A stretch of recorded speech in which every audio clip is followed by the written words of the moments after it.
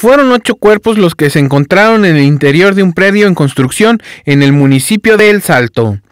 Elementos de la Policía Municipal y del área de homicidios de la Fiscalía de Jalisco informaron que los ocho cuerpos fueron encontrados en un predio en la calle Miami y Aerolínea en la colonia Lomas del Aeropuerto.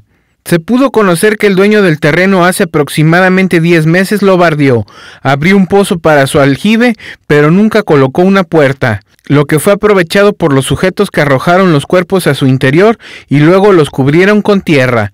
Para Noticel.mx, Luis Everardo.